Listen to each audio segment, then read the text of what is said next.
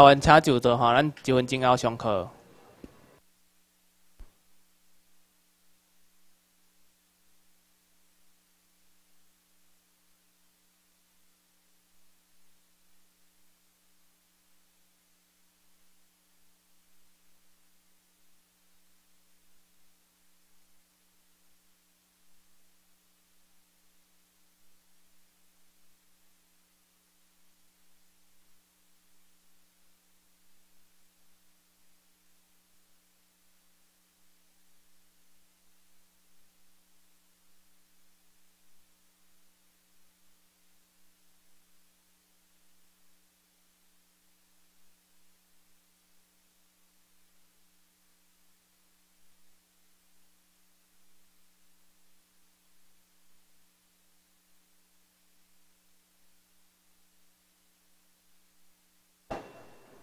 各位学员，咱即马开始来上课吼，请起立。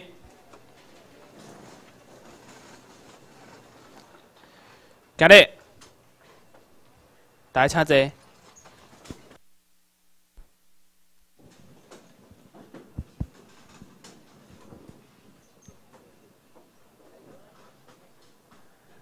大家好早。请问各位敢了解讲吼，咱的机啊？要安怎摆？恁倒去处理吼，有时有一寡人买四面机啊嘛吼，有一寡人安尼买一面机啊，咱的机啊要安怎摆？一支一支要安怎摆？迄有道理的，迄有规矩的，你敢知影要安怎摆？第一个是美国国旗哈，摆时由左到右，第一个美国国旗，第二个是我们那个美国军事占领的旗子，第三个是日本国旗。那为什么不是摆日本天皇的旗子？为什么是摆日本国旗？我们是日本天皇的臣民，对不对？那为什么很多那时候政治局很多委员在问我，为什么摆日本国旗，不是摆日本天皇的旗帜？你知道日本天皇旗帜跟日本国旗是不一样的。那为什么不摆日本天皇的旗帜？然后第四个是摆我们台湾民政府的旗帜。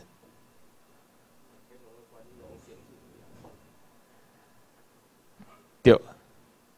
这位神拜讲会对哈，咱天皇的权力今麦去用 suspend 哈，今麦吊在那里，所以我们不能用天皇的旗帜。如果天皇恢复他的权利，我们这里摆的就是天皇的旗帜，日本天皇的旗帜。为什么一刚开始要跟各位讲这些？各位今麦是高级班的学员，哈，明仔载一波领导结业啊，结业领导具备台湾民政府高级公务员的资格。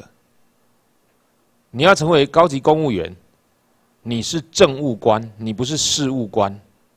政务官第一个要学会领导。那领导哈，先决要件，你要先领导你自己。我们等一下看一段影片哦，看看现代的社会是怎么了哈。我们先从一个很和乐融融的家庭，哈，他们晚上的这个作息开始哈。我们现在先等一下，我把这个窗帘关起来。我们现在先看一下那段影片。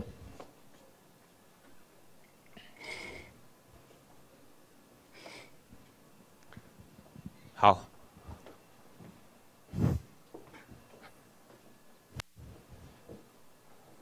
这是你看一家人晚上都回到家了，小朋友也做完功课了。好，美国的家庭，爸爸也做完功课，这电灯可以关起来了？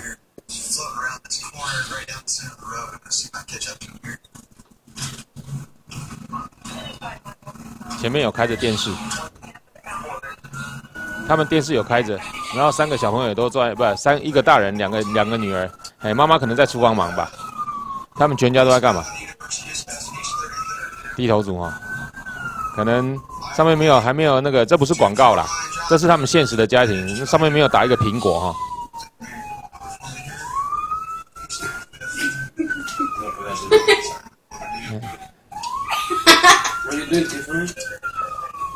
还好他们还有共同的话题，这样。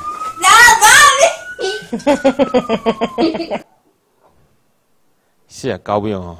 你会看到右边的小朋友哈，他完全的活在他自己的。再我们再来看现在最新的哈，电视在怎么做广告，让各位知道为什么现在每个人都会哈人手一机哈。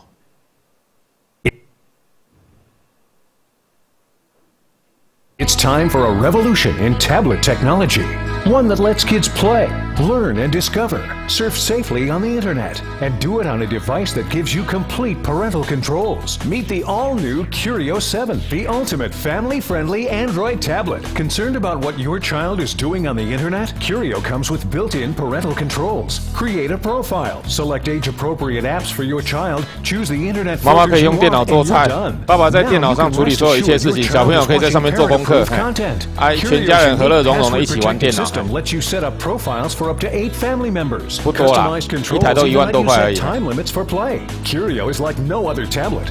It even comes preloaded with full versions of the most popular games like Angry Birds, Fruit Ninja, Doodle Jump, and more. Plus, One Touch gives you exclusive access to hundreds of free new games and carefully selected apps that are updated daily. 他告诉你下载这些游戏都不用钱哦 You'll discover endless ways to have fun. Android It also free, huh? comes preloaded with dozens of ebooks for every member of your family. Plus, the award-winning Mr. Nussbaum makes learning fun and challenging. Curio even comes with two built-in cameras that lets kids take photos and videos they can share with friends. And when kids are done playing, parents can use Curio as a full-featured Android tablet. Plus, it comes with its own shock-absorbent silicone bumper guard, and it's protected by a one-year warranty. Curio is the affordable, durable, family-friendly Android tablet that's loved by kids and trusted by parents. So why hand over your expensive tablet that can easily get damaged? Log on now to get the fully loaded Curio 7 Android tablet, complete with accessory pack, protective bumper, and easy to set up parental controls and safe browser filters, all for three payments of $49.99. And with your order, we'll preload your Curio with 25 full version apps, a $100 value free. And when you log on, find out how you can get free shipping. It's time for a tablet that's built for families. It's time for Curio. Order now. 好，电灯打开。 广告很吸引，Order now 哈，五十块美金尔，代表偌济？千五块啊！你的你都有就愉快的家庭时光，就愉就愉快的 family time，够啥？诶、这个诶、伴侣之间的时间啊，只要一台五十块钱的机器，五十块美金，一千五百块台币的机器就搞定了。这真的很讽刺呢。还有一部，还有一个广告，我看了印象很深刻哦。那个爸爸妈妈带着一个小小 baby 婴粉的哈，就是两岁两岁之前的小朋友，然后还带一个这个大概五六岁小朋友，一家人四个人到诶 Vila 去度假，然后全家人晚上哈，全家人晚上三个人都会玩电脑嘛，所以他们哈为了让小 baby 小 baby 不要吵，那小 baby 才一岁多，所以在他床头摆了一台那个那个 Apple 的平板电脑，哎，全家四个人一起玩电脑，这样晚上都不会吵。哦，你看现在的现在的这个生活哈、你如果再看上一期的商业周刊报道，上一期商业周刊报道说，现在人哈、那个聪明的人哈、都开始变笨了，为什么？因为他们要处理大量的资讯。你要一进一进办公室，你有多少资讯要收？你有 email，你有 line，哈、然后你有那个呃电脑要打开，你有时事，你有办公办公的事情，你有私人的朋友的事情。你会突然一大堆的资讯进来，然后你可能当下要处理什么事情，然后他们发觉现在美国的那个哈佛大学的研究，现在的每一个人哈、平均智商哈、智商哦都降了二十趴，这很可悲呢。你的智商如果你的智商如果没有一百五，你降了二十趴，你的智商如果一百降了二十趴，你智商剩八十哎，为什么会智商会降下来？因为你的大脑没有办法同时处理那么多的资讯，你的大脑没有办法。今天要跟各位讲哈，唤醒你心里面的巨人哈。今天在讲什么？我们去思考一下哈，我们去思考一下，在远古时代哈，听说啦，人类都可以活超过一千岁，哈，他们没有文字，没有语言，没有文字，没有语言哦，那他们怎么沟通？他们怎么 communication？communicate？他们怎么沟通？人类没有文字、没有语言的时候，他们怎么沟通？动作嘛，肢体语言嘛，好、用心去沟通嘛。肢体语言、动作不用讲太多，因为没有文字啊，没有语言啊。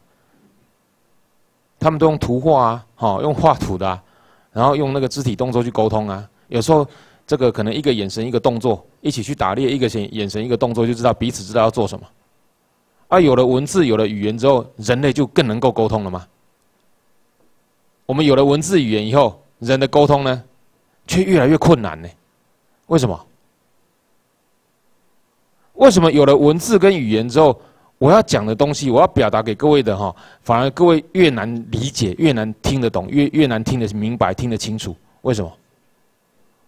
因为太多修饰了，是不是？因为我讲的很清楚，你们听得很明白，然后你们却不了解。最近哈，元神出版社啊，我每次都帮元神出广告啊。最近要跟元神出版社联络，看他有没有哈那个 给我一些这个特别的优惠哈。最近元神出版社出了一本书，叫做《可汗学院的教育奇迹》，有没有人看过这本书？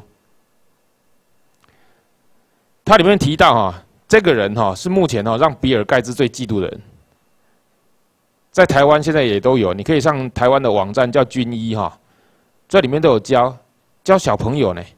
教小朋友念书，全世界哦，他这个这个年轻人，他刚开始哦，他是呃麻省理工学院的那个统计学系毕业的，啊，数学就厉害，啊，伊的孙啊哈，数学就歹，所以伊为着要教伊的孙啊数学，伊就开始伫想讲吼，我要怎教吼较紧，然后他在研究的过程里面哈，他就会开始去找资料，他发觉很多大学的教授哈，他们研究出来的资料，他们却不去用，比如说我举个最简单的例子。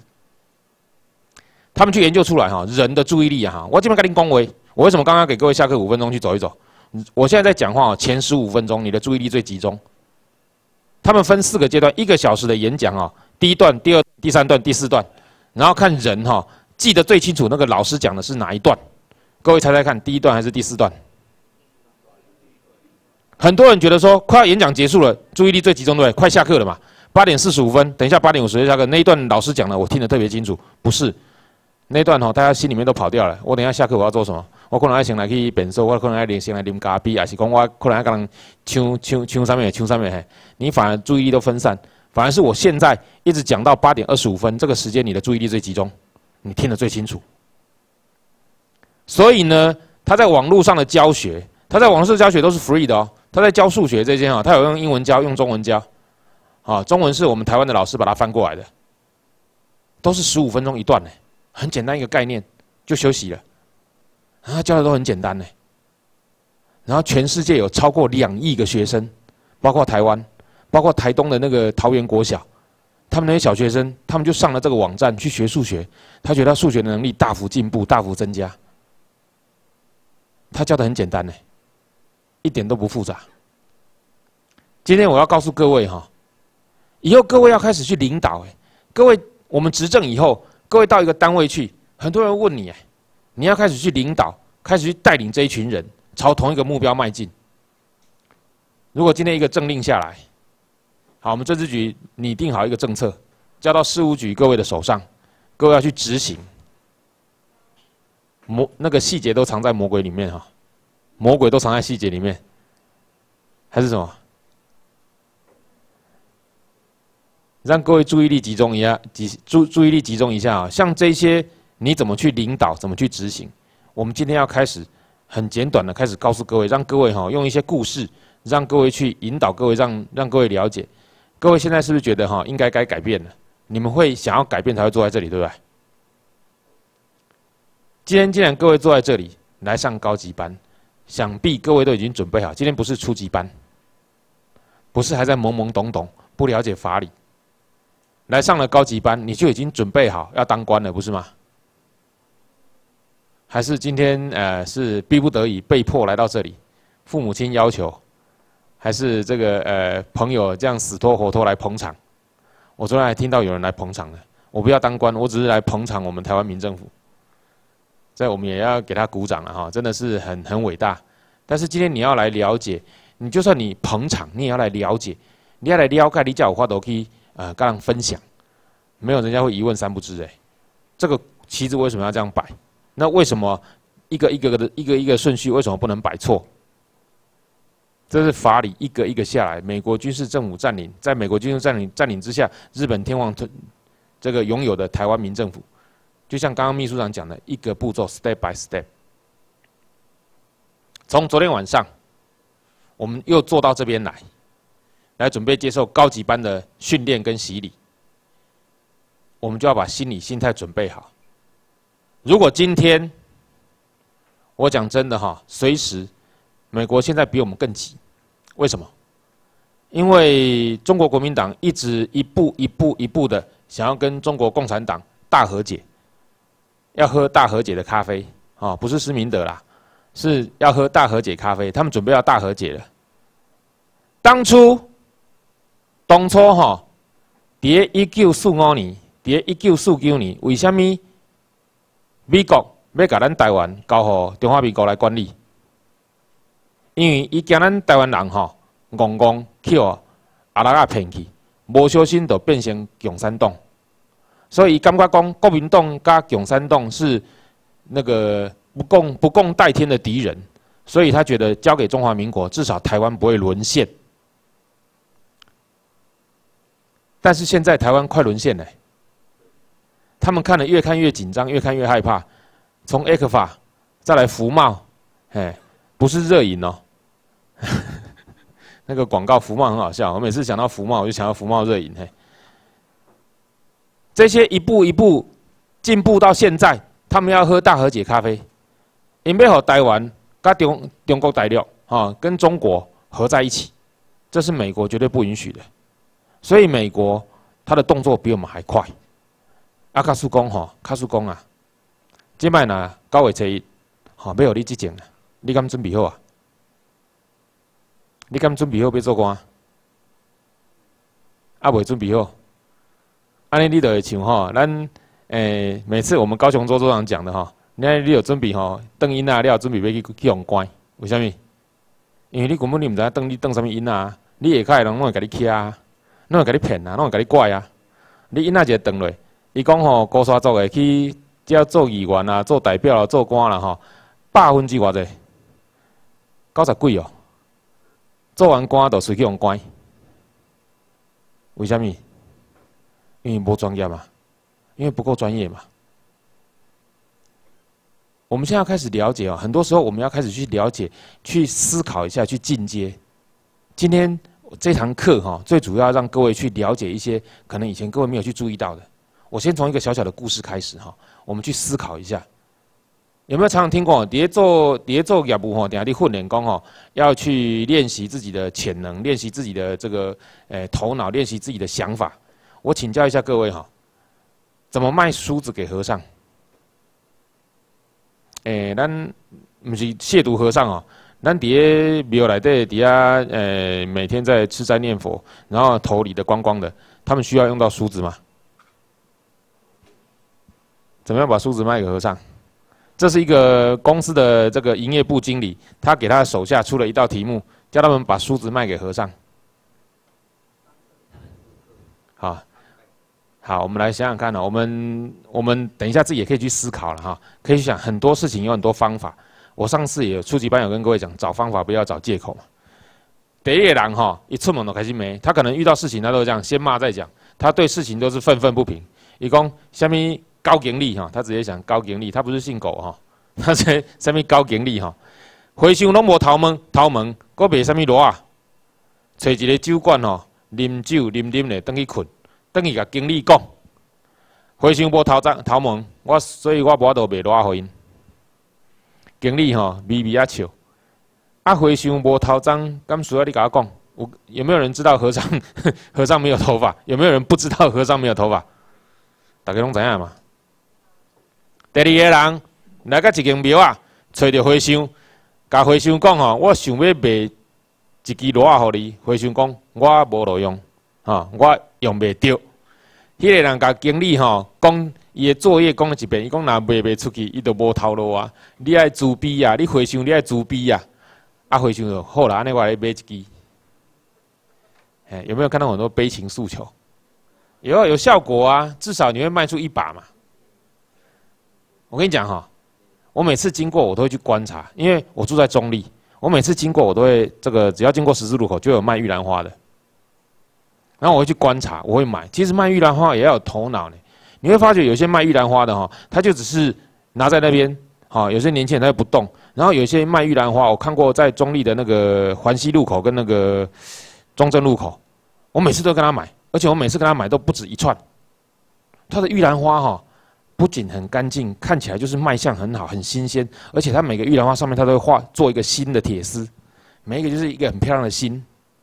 哈啊，新的颜色都不一样，你看起来就五颜六色，哦，很漂亮哎。然后他就跟我讲，我只要开车经过熟客的嘛，他直接就拿给有四种不一样颜，他那个心就四种颜色嘛，然后他就拿给有四种颜色，然后跟我说五十块，已经习惯了。他只要看到我我的车子经过，他就会准备好四串，好跑到那边去。啊，他已经我第一次跟他买，他就记得我，他会记得哦，他会问我姓什么，我说我姓连。下次他就来，连先生，四串吗？我第一次跟他买四串，因为我第一次本来跟他买一串，他一串二十块嘛，哎，块很漂亮哎，我就算一算，我有很多女儿嘛，好买四串可能还不够分，好，所以我就买了四串五十块。他说四串五十块，他从此以后他只要看到我林先生四串吗？那有时候我不想买，我反而要躲他，你知道，我要刻意绕过那个路口，变成拍谁啊？你知道，跨掉一堆背，看到他你就会花五十块，他就把玉兰花做得很好，很有卖相。他不是在要呢，他不讲你若无搞我买，我会死，对吧？因为讲你若无搞我买，我就无头咯，我会死啊！我无我我我囝无倒饲，我诶 某某诶囝细汉某袂谈吼。第三个人，他也来到寺庙卖梳子。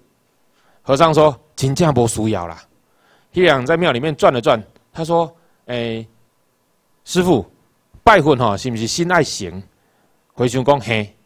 啊，心行是不是要心要心存敬意？他说对，要敬。他说你看哦，这这香，诶，那个香客哈很远来到这里，他们很虔诚哦，但是风尘仆仆、蓬头垢面，如何对佛尊敬？诶，你讲有理哦。再来往下，如果哈庙里面买些梳子，这些香客哈来到这里，先把头发梳理整齐了，把脸洗干净了，不是对佛的尊敬吗？回旋公，你讲的有道理。阿尼我买十支。坑底下这个梳妆台，看放在那个洗手台，大家洗蔬果，顺便这个把自己身体打理干净。哈，第四个人，伊嘛去庙啊，阿伊嘛去改回旋个庙啊，回旋嘛是赶快回答。每一个和尚第一个就是我不需要嘛，因为我光头嘛。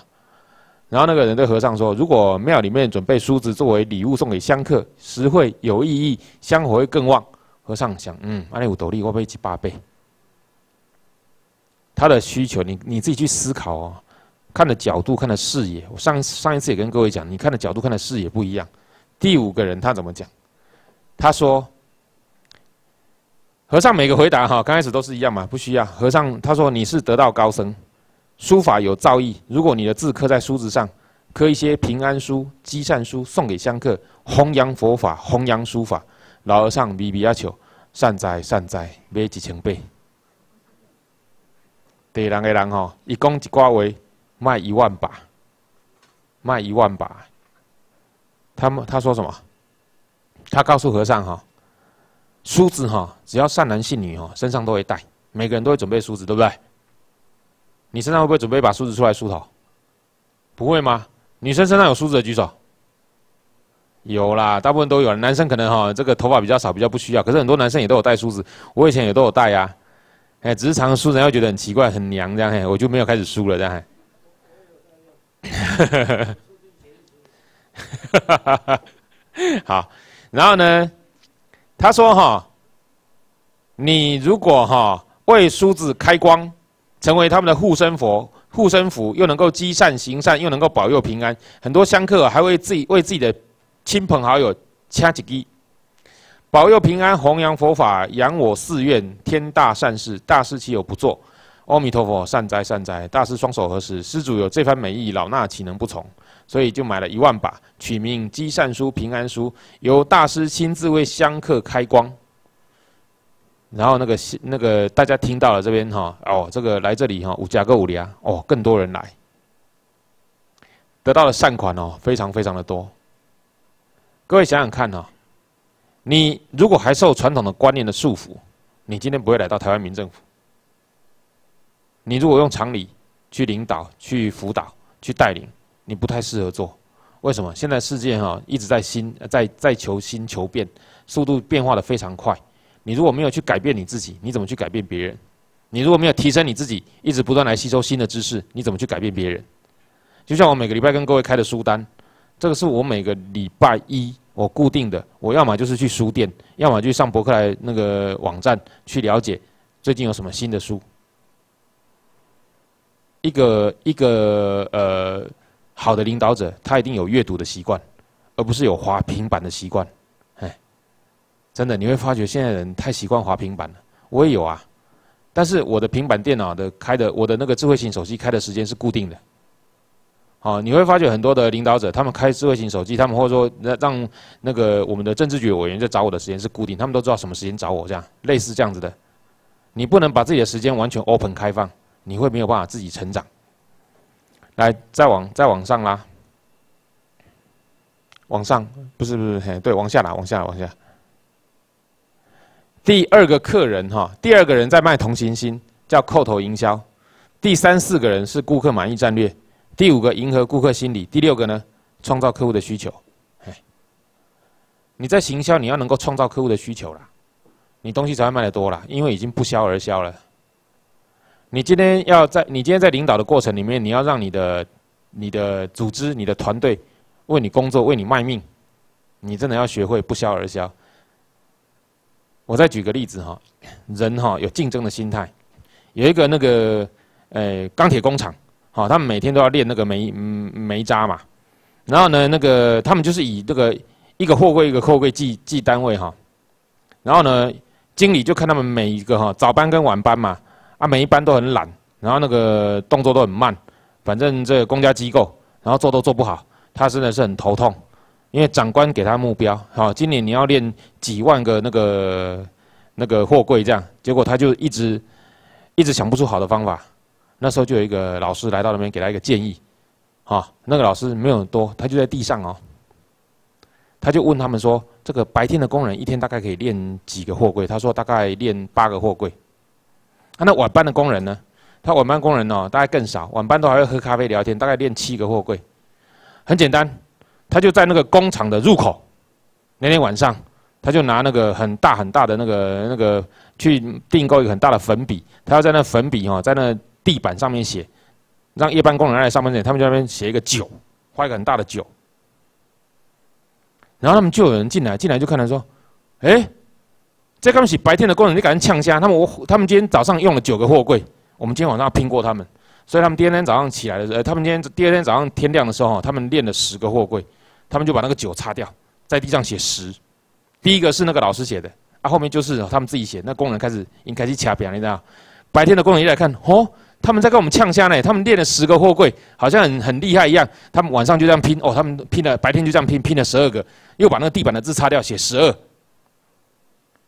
就是看良性竞争。原来他们的工作量是可以这样无限的提升，因为有些杂波人哈，弄开扁哈，他们喜欢拼，结果那一群男人呢，赶紧变阿微细，那个经理就很满意，哇，半年就达到上面交给我的所有一年的目标，因为他们一直飙呢，可以这样飙到二十三十这样嘿。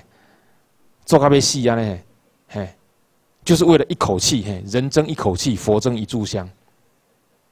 所以要有方法，很多事情都有方法的。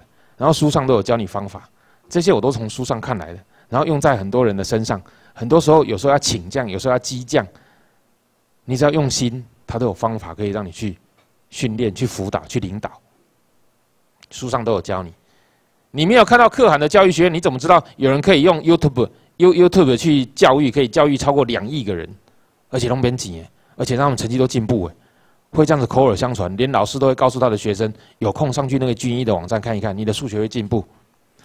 我女儿数学本来很差，她开始上去看，哎，真的有效哎，它引起你学习的兴趣。你要引起兴趣比较重要了，让他有兴趣开始学习比较重要。你这样把牛哈拖到河边叫他去喝水，他不渴，他怎么会喝水？我们常常做这件事情，不是吗？你把牛牵到河边，然后拼命的叫它喝水，它又不渴，它才刚吃饱，刚喝完水，你又把它牵到河边，它怎么会喝？你打它，你抽它，你把它淹压到水里面，它还是不会喝啊！啊，要你喝水很简单嘛，有没有？大家从小都听过啊，太阳跟北风的故事，有没有人没听过？这小朋友都有听过吧？没听过啊？哦？记得知道我在讲太阳跟北风的故事了哈，啊，知道哈，那我就不用再讲了吧？还要再讲一遍吗？再讲一遍。太阳跟北风有一天很无聊，他们两个就在打赌啊。看到有一个那个旅人哈，穿的很厚的衣服，他们就在打赌谁能让那个旅人脱光光，啊，想起来了哈。然后那个北风不是就一直吹，一直吹，它越吹越用力，越吹越大。北风线来，那个女人把衣服包得更紧，生怕被风吹掉。你想想看哦，女孩子如果走在楼梯，然后她又穿着短裙，对不对？如果又有底下又有冷气吹上来，她会做什么动作？双腿夹紧，把裙子拉短一点，嘿，拉紧一点，就怕被风吹起来，走光嘛。所以这个是人的天性，风一直吹，他会把衣服包得越紧。太阳很简单啊，它只是让它的温度加大，一度一度往上升。现在还你还不脱，二十七度、二十八度、二十九度、三十度，嘿，热到你受不了，热到你真的想说看有没有那个 冰块可以把自己包起来。所以你要让人自己愿意去做，这就是我现在要开始跟各位讲的哈，唤醒心中的巨人第一第一句话。我们放上第一个投影片。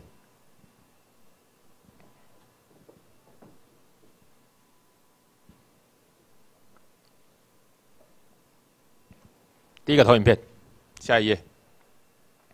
啊，这个不用了，嘿。好，我们人要改变，要靠意愿呐，不是靠方法，绝对不是靠方法。你方法有用，十趴二十趴，但是这个人，你给他再多的方法，他如果不想改变，他如果受了六十八年的教育。他如果深深的相信，他的注意力就固着在那里。什么叫注意力固着？我请问一下各位哈，小朋友也可以去想。你把自己哈坐在那里，然后请人家帮你哈灌灌浆，你知道那个要建筑物要灌浆嘛哈？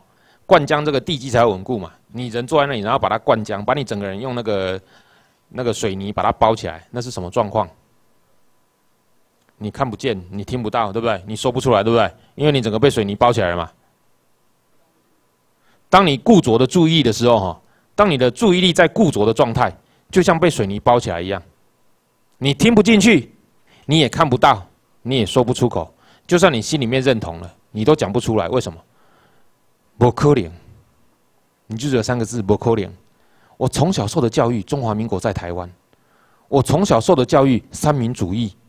我从小受的教育，我们有台湾光复节。你现在告诉我，中华民国在平潭。你现在告诉我，台湾没有光复节。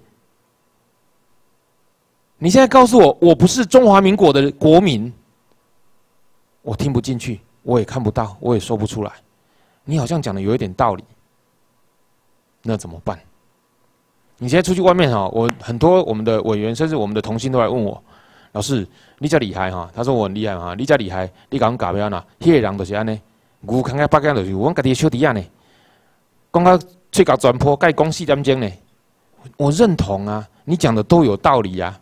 可是我不相信，你讲的都武力呀，但是我不相信，因为我六十八年来念的历史，尤其现在三十岁到六十岁的这个三十岁到六十岁的年轻人到中年人哈，这一段哈。我们事务局，我们事务局要找的就是三十五岁到六十岁的这个我们的童心，好，政治 政治局要找二十五岁到四十五岁，你们上完高级班，你们都有资格。如果你们要想要参加政治局当政务官，或想要当到事务局当政务官，都欢迎来找我或者找徐格林，哎，干事长。但是三十岁到六十岁真的陶卡龙点够孔了，不要了。你们今天坐在这里，你们今天为什么会坐这里？你们去，你们有没有思考？为什么你愿意相信台湾台湾民政府会给台湾一条活路？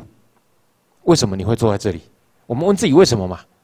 你找到为什么理由，你才能说服别人嘛？你说我我我也不知道为什么，哎，我就是我爸叫我来的，啊，我妈逼我来的，我朋友叫我来捧场的，啊，反正我就坐在这里。那既然坐在这里了，既来之则安之。你听完以后，你觉得有道理，那你为什么会想要改变？你为什么会想要办身份证？为什么会想要去告诉别人？哎，你可以来上，因为他可以当官吗？没有这么简单吧？啊，如果为什么你在讲的过程里面，为什么他都听不进去？他就不想改变呢？他一点都不想改变，那怎么办？这很可怜的那个中华民国的教育是这样，都希望我给你答案，我给你答案，你会你也弄瘪了。为什么？因为我给你答案就一条而已，啊，有时候他会问你十几二十条，你总不能每一次问他问完以后，嗯，你这个问题很好，等一下我回去再问一下。总不可能他问完以后再回去问老师吧？他会觉得你很不专业呢。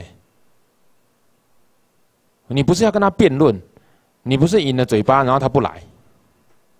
你是要用你的行动，用你的行为，用你的一举一动去影响他，让他觉得说你真的在改变呢。我愿意改变，那嘴巴讲一讲而已啦。我现在开始，晚上不要看风水切卡嘿。我在讲，因为那个卡通讲风水切卡，我现在晚上不要看，哎，我愿意改变。然后呢，在家里没有看，赶快出门以后问朋友，哎，你有滴看风水世家不？我去领导看嘿，因为问到我讲我要改变，所以我袂使伫问导看，我去外口跟你到顶看，这样有改变吗？什么叫做改变？改变是不是终极要旧有的行为模式，创造一个新的行为模式？这是不是改变？我们要终止旧有的行为模式，创造一个新的模式嘛？其实，你要唤醒你心中的巨人，有很多很多的方法。但是很多事情你要能够做到，哎，你知道很多的成功人士，你想要成功，结果你做的跟他都不一样。你觉得成功人士哦，他身体都很健康，他们都不抽烟。就我们在外面一大堆人抽烟，抽烟到底有什么好处？我以前抽了十四年呢，我还抽到烟斗。我那个女儿现在坐在那边，她还跟我讲说：“爸爸，你吹烟斗用吹的。”嘿，我抽了十四年呢，可是我说我不抽，我一根就再也没抽过了，因为我想不起来抽烟到底有什么好处。有些人告诉我说饭后一根烟快乐似神仙，有些人告诉我这个帮助排便，啊，有些人告诉我可以放松，哎，抽烟还有什么好处？抽烟的好处有大过抽烟的坏处吗？有吗？没有。我们都知道没有，很容易哦。那个肺，我们里面的肺腺癌哈，像风飞飞，像这些，我们都知道容易哈得到这些比较重大的疾病。那为什么你还要抽？你为什么要慢性？我至少我不是吸毒啊。请问一下，抽烟跟吸毒有很大的不一样吗？我不是在 challenge 各位哈。因为各位要想要改变哦，才会有方法嘛。我们去上课的时候，很多呃同学说他很喜欢吃巧克力啊，很多他有很多想要改变，他想要改变的一些想法，但是都没有办法去做。想法不等于做法嘛。最长的距离，世界上最长距离就是你的头到你的脚嘛。你脑袋想的跟你脚下做的会不一样嘛。我也想戒烟呐，我每天都在戒啊，不是吗？我只要咳嗽我就不抽啦，不咳嗽我才我才会抽啊。我也很照顾我自己身体健康，总总会有一大堆理由跟一大堆的借口，你总会有你自己的讲法嘛？那这就是问错问题嘛？一定要问对问题。等一下后面也会问，告诉各位怎么样提问问题。我们先来哈，在这一段课程结束之前哈，我们先来看那个聚宝盆与垃圾桶。这是一个这个父亲哈，他很。惊讶，同样的父亲教出来的小孩子哈，会有不一样的小孩子。这个小孩子跟他的父亲想法完全不一样，这父亲很难去想象。哈，你能够常常看到别人的优点，你就是聚宝盆；你如果常常看到别人的缺点，你就变垃圾桶。为什么？这个伯劳恩又失业了，哈，一直被老板 fire。他满大街转了一圈，没有找到工作，他的情绪很低落。他去酒吧喝酒，喝了老半天。到把身后最身上最后一块钱喝了酒啊，然后回到家，很累了，又喝酒又累。可是家里面也不是天堂，他非常这个对他寄予厚望的儿子啊，克里斯蒂安没有给他争气，成绩比上个学期退步。他狠狠地瞪了克里克里斯蒂安一眼，再也不跟他不想跟他说话，又回到他自己的房间呼呼大睡。当他醒过来的时候，第二天早上，他习惯性拿起笔写昨天的日记。五月六号，星期一，真是一个倒霉的日子，工作没找到，钱花光了。更可气的是，儿子又考砸了。这样日子还有什么盼头？人生薄希望，也人生有悲。波莱恩来到他儿子的房间，打算叫儿子起床，但是克里斯蒂安已经比自己哈早上学去了。这时候，伯劳恩突然发现儿子的日记本忘了锁进抽屉，他忍不住好奇看了起来。五月六号，星期一，这次考试不太理想。但是呢，我晚上把这个消息告诉我爸爸的时候，他没有责备我，哎，他是深情的盯着我看了一会儿，使我深受鼓舞。我决定努力学习，争取下次考得更好，不辜负爸爸的期望。哎，他爸爸瞪他呢，他说他爸爸深情的看了他一眼。那样呢？我明明我的日记写的是我瞪了儿子一眼，我为什么变成说我深情的盯着看了他一会儿？劳恩继续好奇的翻起儿子以前日记。五月五号星期天，山姆大叔的小提琴拉得越来越好了。我想有机会我一定要去请教他，请他教我拉小提琴。伯劳恩又吓了一跳。五月五号，前天我也给你啊，我的日记写什么？来往下拉，你看他伯劳恩他写什么日记哈？他写说五月五号星期天，啊。这个该死的山姆又在拉他的破提琴。我本来想多睡一点，被他吵得不安生。如果再这样下去，我非报警没收了他的破提琴不可。喂，我先喂，好，我非报警没收他破提琴。伯劳恩跌坐在椅子上，半天无语，不知道从什么时候起啊，他已经变得悲观厌世、烦躁不安。难道自己对生活的承受力还不如一个小孩子吗？从此哈，他以他儿子为师，哎。他开始变得积极开朗，他是内容完全变了。五月七号星期二，我找了一天的工作，虽然还没有哪家单位愿意聘请我，但是我从应征应征的过程学到不少东西。我想，我只要总结经验，明天我一定能找到满意的工作。五月八号星期三，我今天终于找到工作了，虽然是一份钳工的工作，但是我想我一定成为世界上最出色的钳工。他是德国最出名的漫画巨匠埃奥伯劳恩。伯劳恩在一九零三年三月十八号生在那个。福特，呃，那个德国的福格兰特山区，在工厂当过钳工，给报报刊画过漫画，为书籍画过插图。最广为人知的是他的连环画《父与子》。后来有人问伯劳恩：“听说你是因为一本日记改变了观念，变成了大师的？”伯劳恩说：“是的，确实是因为一本日记。但是要声明的是，那个大师不是我，真正的大师是我的儿子克里斯蒂安。”我们往上拉，拉到最上面，这个刚刚标头那边。你如果能够常常看到别人优点，那你就是聚宝盆；你如果看到别人的缺点，就变成垃圾桶。你自己想要当聚宝盆，还是要当垃圾桶，在各位一念之间。所以我常常上一次初级班，我有告诉各位，我常常告诉自己，所有的事情发生都有原因，我一定找得到他对我的帮助。每一件事情发生，一定有原因，我一定找得到他对我的帮助。这是你看事情的，你的人生观跟你的态度。你每一个朋友拒绝你，跟你讲我不认同，我不接受，你有没有办法找到他对你的帮助？你出去，你会开始跟大家介绍台湾民政府的身份证吗？不会吗？你会开始跟他介绍初级班，跟他介绍高级班？你会不会遇到拒绝？会啦，拒绝比接受的多得多。六十八年来，他的注意力就已经固着在那里了。他已经深深的相信教科书上面教他的一字一句。我刚开始听的时候，我也很震撼呐，我是很 shock。但是我从头到尾哈，我就知道说，因为我的长辈都经历过二二八事件，所以我从头到尾就知道，中华民国他本来就把我们当殖民地。我从头到尾就知道他们的目标就是反攻大陆，而且我从小就已经知道，因为从小。开始就有老师教我们要自己要会思考嘛。我从小也知道说他们一直在骗我们，因为我我最印象最深刻是我念到教科书上面教到说中国大陆的可爱的同胞们，他们新三年旧三年，缝缝补补又三年。很多人都念到啊，那时候我觉得很不可思议，什么叫新三年旧三年，缝缝补补又三年？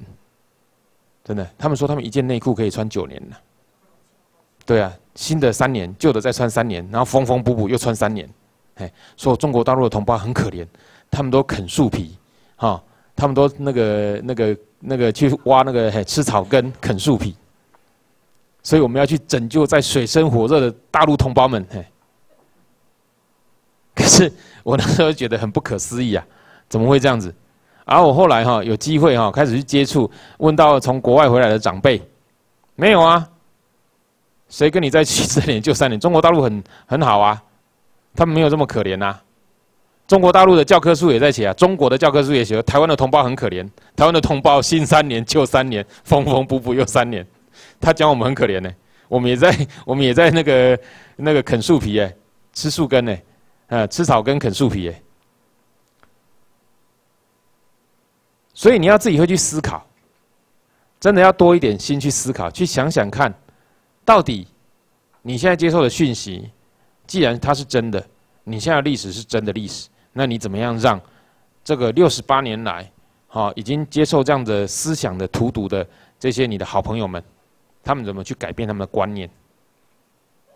观念没有对或错哦，只是结果不同而已。而人通常会改变哦，有的时候是因为自己的荷包。像现在新竹州他们的名片后面都讲啊，赶快办台湾身呃台，赶快办台湾身份证，过呃顾荷包。为什么要顾荷包？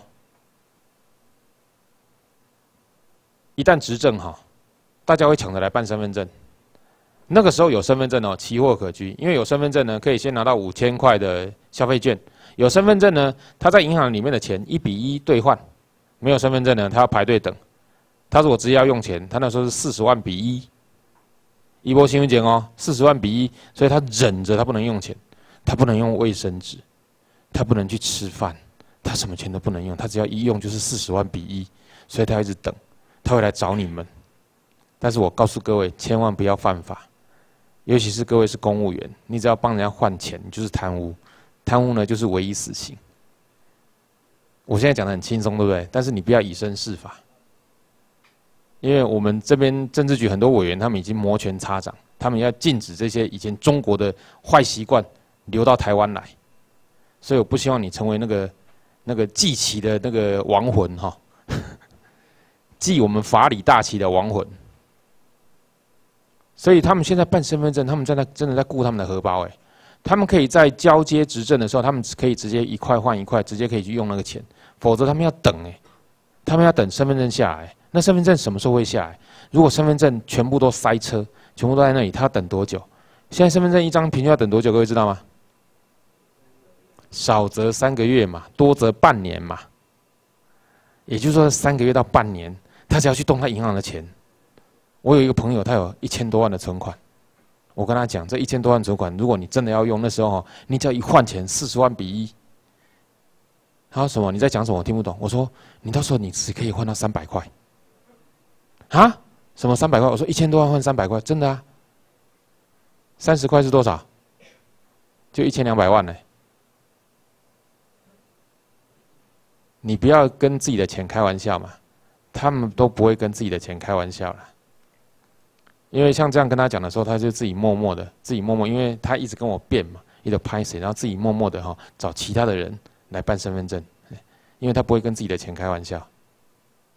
所以你要找方法，你要改变它，一定有方法。先先把它的固着的水泥把它打破，嘿，所有的事情一定有方法。你哪讲吼，听伊讲无可能，你都无可能。所以你爱讲有可能，上面代志拢有可能。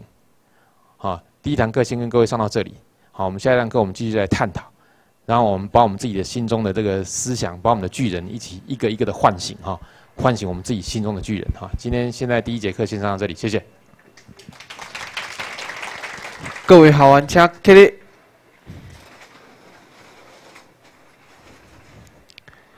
今日下课休困。那个新竹州黄维伦，呃，请到直播台这边来找我一下，谢谢。